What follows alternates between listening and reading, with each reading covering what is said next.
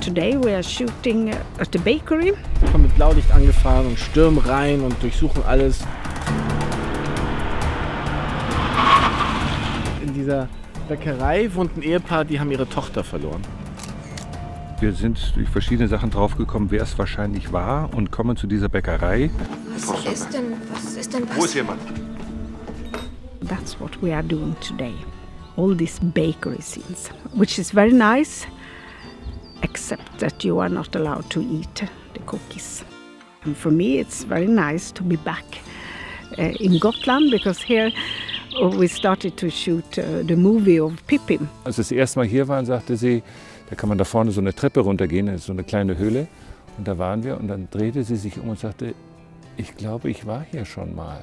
So we have the same background in uh, der Kommissar und das Meer as in Pippi. Es gibt eine ganze Reihe von Stellen auf Gotland. Ich kenne viele, aber noch lange nicht alle. Also ich habe nichts dagegen, die nächsten fünf Jahre auch noch jedes Jahr herzukommen.